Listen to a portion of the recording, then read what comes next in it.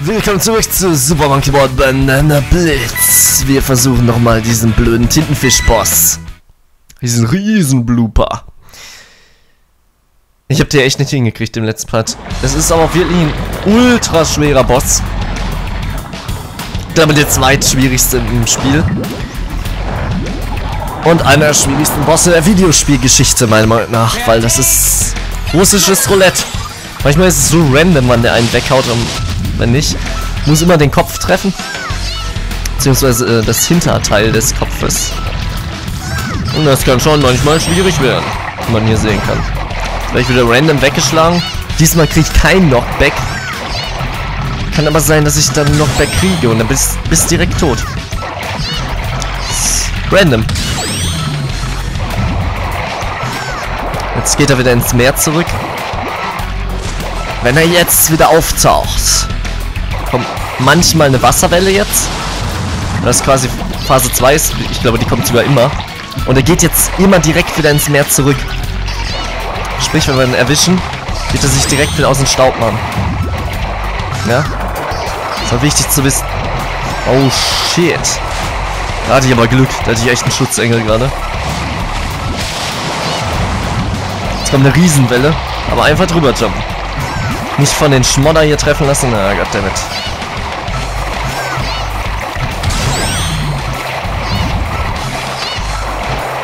Sehr gut. Ein Treffer, glaube ich, nur noch. Jetzt kommt er nochmal. Jetzt gibt es wieder eine Riesenwelle, aber die ganzen Mini-Oktopusse hier, die sind nervig. Rüber gejumpt, sehr nice. Ach so, ja natürlich! Jetzt kommt immer jede Sekunde eine Welle, ist klar, Murat. Es war so ein guter Versuch. So gut wie nie, ne? Und trotzdem verkackt. Weil wirklich ein ultra schwerer, unfairer Boss ist. Das Schlimmste ist halt dieses Random Knockback. Manchmal haut er einen direkt weg, manchmal nicht. Das ist halt das Schlimmste. Das macht den so unberechenbar. Da, schon wieder. Random. Auf einmal werde ich richtig weggestoßen. Hier auch. Ey, was ist das? Seriously, das ist sowas von fucking random. Eben genau die gleiche Situation. Es ist natürlich mir nichts passiert. Aber jetzt. Ey, come on. Das ist. Das ist richtiges russisches Roulette. Wollt ihr ein russisches Roulette-Simulator? Da ist er. Der Oktopus. Ganz im Ernst. So, das war der dritte Treffer, ne? Und ich bin tot. Weil er random, man weiß ja nicht, wo er dann letzten Endes wieder ins Wasser geht. Ja, wobei ich glaube, das ist immer immer da, wo die wunde Stelle ist, ne? Dann geht er da auch. Ah, okay. Merke ich mir, merke ich mir. Try and Error Bosskampf. Und ein bisschen Glück, wie gesagt. Oh, bloß nicht da unten rein. Ja, was war es jetzt, ne? Komm hier nicht mehr raus. Jetzt. Random Rückstoß. Random. Random. Die ganze Zeit ist nicht sowas passiert. Jetzt schon. Random. Weggestoßen. Also, wir werden in diesem Part eh nur diesen Bosskampf machen. Wahrscheinlich. Weil es so schwer ist. Aber vielleicht habt ihr ja Bock drauf. Also ich hab's nicht. Ich hab überhaupt keinen Bock auf den Scheiß. Er ist einfach schlecht programmiert. Oh, die Entwickler waren solche asozialen Bastarde. Wollten das. Dass das so unfair ist. Das glaube ich aber nicht. Es wirkt ja auch so random. Manchmal, manchmal macht er halt nichts. Manchmal schon. Hey. Er hätte so gut sein können, dieser Bosskampf. Aber ist es nicht geworden. Bam. So ist es doch. Okay. Jetzt kommt eine Wave. Eine kleine Wave. Wo ist die Wave? Hä? Keine Wave? Seht, seht ihr? Random. Keine Wave gekommen. Sonst kamen jetzt immer diese scheiß Wasserwellen. Ich verstehe es nicht. Ich verstehe es nicht. Ich verstehe diesen Boss nicht. Vermeintlich noch zwei Treffer. Ich bleib trotzdem jetzt mal hier. Jetzt wird bestimmt eine Wave kommen, ja. Eben kamen halt zwei Waves beim letzten Treffer. Oder vermeintlich letzten Treffer. Man weiß ja letzten Endes nicht. Sprich, wir müssen da jetzt noch mehr aufpassen. Und die Zeit ist halt auch asozial, ne? Wave. So, und eben kam noch eine Wave. Da ist sie. Und der Boss ist besiegt. Krass. Okay, wir machen, glaube ich, noch mehr in diesem Part. ja, aber seriously. Der Boss ist schon schwer. Ich übertreibe immer gerne, aber das war schon ein starkes Stück. Ungefähr 20 Versuche gebraucht. Plus die im letzten Part halt. Also, also im letzten Part und in diesem Part insgesamt 20 Versuche circa. Das wollte ich sagen. Gut, das war der Tintenfisch. Alright. Hä? Keine Krone? Wieso nicht? Hä? Hä? Was heißt denn die Krone?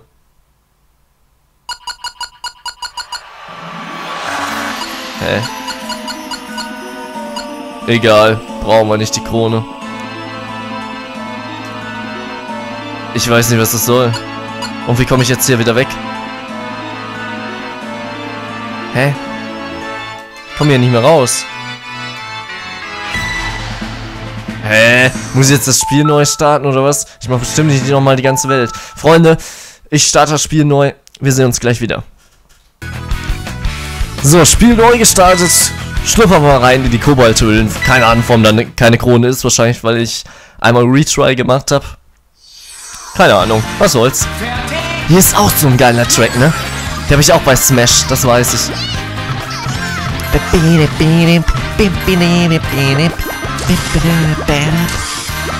Von der Atmosphäre ziemlich gute Welt.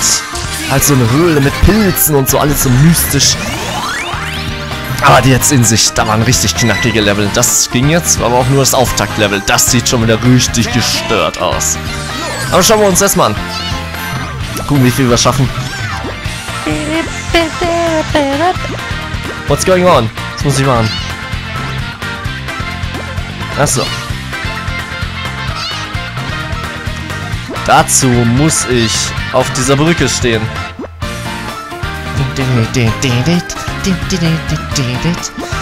Ja, woher sollte ich das erst wissen, ne?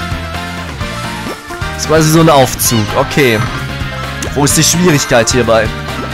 Es gibt keine Schwierigkeit, das ist ein Chill-Level. Scheinbar schon. Ach so. Die Aufzüge werden immer kleiner. Ist in Ordnung. Wo ist er? Kommt er nochmal? Ich hoffe es doch. Und wir warten und wir warten. Ladezeiten, Wartezeiten. Sehr gut. Mhm. Ach so, ja, ja. Ich erkenne die Schwierigkeit. Ist ja in Ordnung. Da wird er richtig weggedrückt. Muss mir anschauen, wie ich das mache, aber ist ein cooler Level. Ist eigentlich ein Chill-Level. So schwer ist der nicht. Ich es nur ein bisschen blöd, dass man hier so lange warten muss am Anfang. Na, jetzt war ich dumm. Aber ich habe es noch geschafft. Ist in Ordnung. Jetzt können wir auch direkt hier drauf. Ja.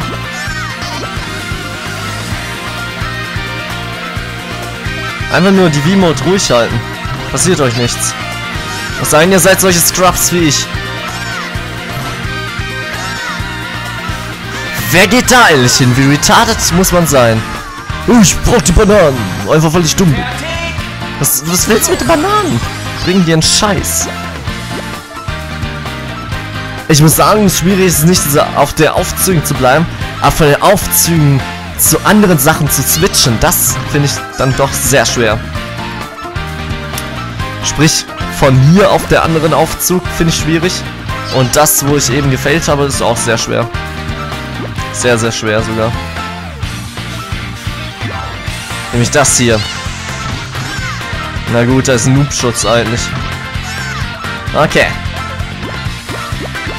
Und jetzt abspringen und rein. Sehr gut. Man muss da echt abspringen. Wenn du nicht springst, kommst du nicht rein ins Ziel. Ist auch interessant. Okay. Kobalthöhle Nummer 3. Ach, wieder so ein Riesenteil da. Ich glaube, das war schwer. Naja. Sind es Trampolinpilze oder sind es einfach nur Plattformen? Schauen wir uns mal an. Sind einfach nur Plattformen, glaube ich. Du soll hier wieder auf das Ding warten. Lol, da kann man rausspringen. Warum? Oder muss man das vielleicht sogar? Oder ist nur wieder für die Bananen geilen? Ich denke schon, dass wieder nur für die Bananen geilen ist. Da sind da wieder irgendwelche Gimmicks drauf oder diesmal nicht? Diesmal nicht. Hä? Ich komme da gar nicht drauf. Das ist unfassbar schwer. What the fuck? Muss es so schwer, da drauf zu kommen? Ich denke nicht, dass da eigentlich die Schwierigkeit bei liegt, oder? Ja, man kann... Das... Also... Nee. Ich weiß nicht, warum man das so programmiert. Das ist doch nur, um den Spieler zu ärgern. Wenn man failt, muss man die ganze Zeit immer wieder auf das Scheißding da warten. Ja, ich, ich will da einfach jetzt schnell hin, dass ich direkt da drauf kann, aber ich darf es nicht. Nee, ey. Das ist nicht gut. Das könnte den ganzen Part fressen, das Level. Ne, seht ihr, es sind keine Trampoline. Nee, das ist nicht schön.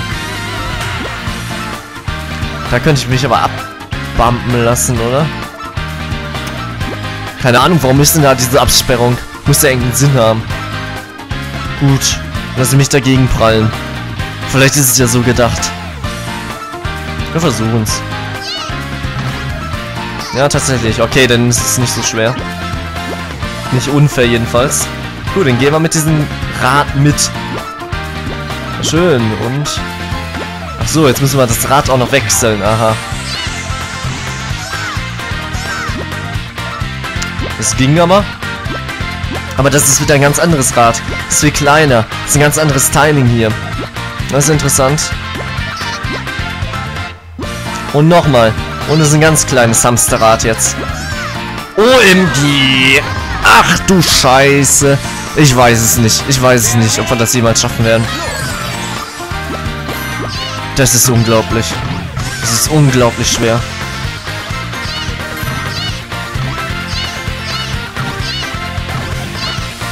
Das ist unglaublich schwer.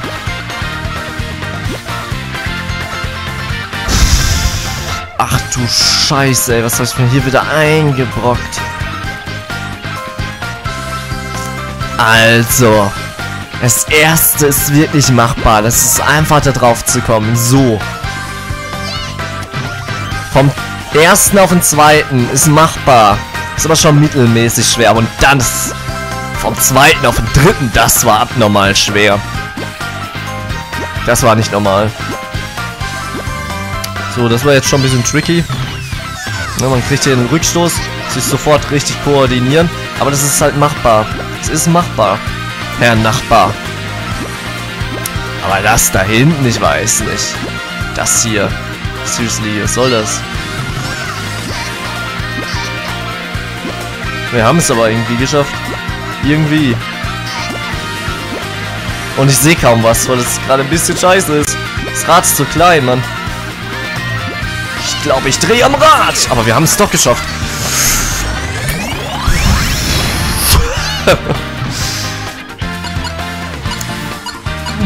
geiler Level, aber schon anspruchsvoll.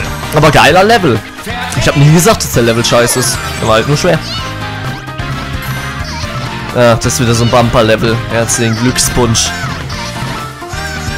Mhm. Ja, wenn da sonst nichts kommt, ne, easy going. Aber was ist das? What's this? Was müssen wir hier machen? Ach so. Das ist in Ordnung.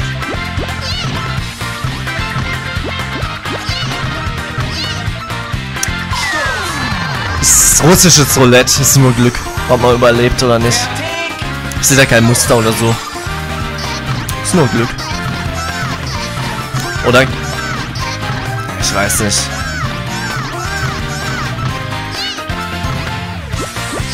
Ich so springe.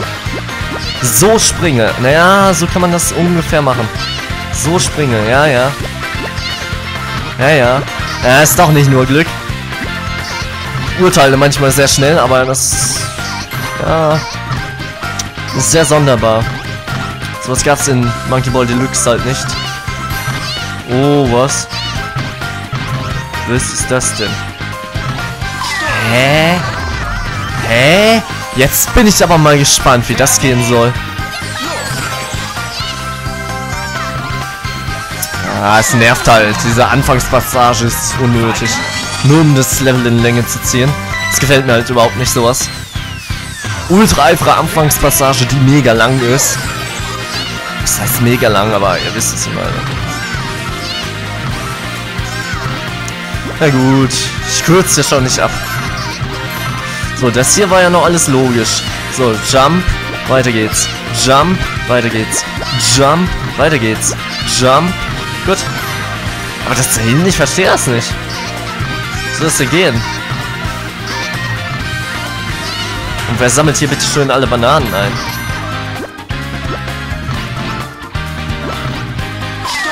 Ich weiß es nicht. Ich werde da versuchen zu schmuggeln. Ich werde versuchen zu mogeln. Ich kann euch zeigen, was ich damit meine. Hm. Na, erstmal das hier wieder. Uh! Und damit. Ups! Und go. Ja, das war knapp. Go. Gut. Und rüber. So, ich kann ja jetzt versuchen von hier, jetzt bin ich ja quasi erhöht. Ich kann jetzt quasi hier Anlauf nehmen und versuchen, da jetzt irgendwie rüber zu kommen. Das werde ich auf jeden Fall probieren. Ich denke, dass es möglich ist, ja. Ich denke, dass es möglich ist. Das war halt nur gerade ganz falsches Timing. Aber es kann doch nicht vom Spiel so gedacht sein, oder? Ah, ich durchschaue da irgendwas nicht. Ganz, ganz komisch. Die Passage ist mir nicht schlüssig. Go! Und jump! Und jump! Voll die Jump'n'Run-Elemente, aber das hat ein bisschen was so ein Galaxy hier mit diesen Plattformen. Super Mario Galaxy. So, jetzt. Und jetzt springen. Nein! Es.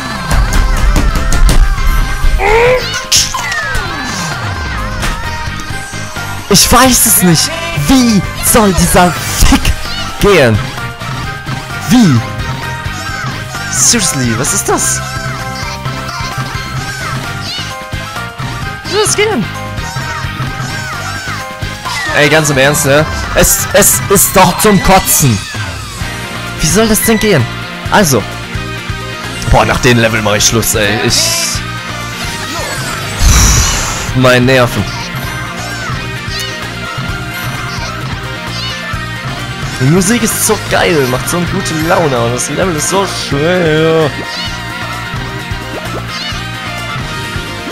Es passt nicht zusammen. Gute Laune Musik und Höllenlevel. Ich glaube immer noch, dass es so geht. Ja, natürlich. Diesmal ging's, ne? Ist klar. Überhaupt nicht random. Keine Ahnung, da hinten die Bananen können mir gestohlen bleiben. Vor allem die Bumper noch da war. Ha. Nee. Achso, ein Bonuslevel gibt's noch, ja gut. Ich wollte wirklich Schluss machen. Beziehungsweise ich wollte gucken, wie lange der Part ist. Weil wir machen ja keine Welt mehr pro Part. Seht ihr, Level sind richtig, richtig knackig geworden. Da schaffst du keine ganze Welt mehr pro Part.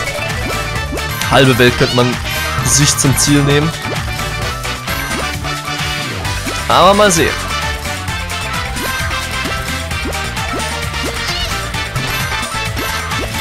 Das ist interessant.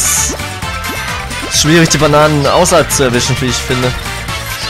Und dann immer... Ja, genau deswegen.